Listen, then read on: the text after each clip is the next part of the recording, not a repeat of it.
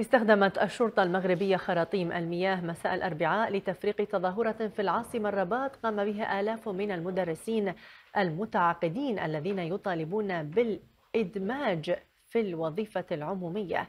ووصل المدرسون الذين كانوا يهتفون لا لتفكيك المدرسة العمومية إلى أمام البرلمان وسط الرباط لإقامة مخيم والاعتصام فيه للضغط من أجل تحقيق مطالبهم قبل أن تفرق الشرطة تظاهرتهم.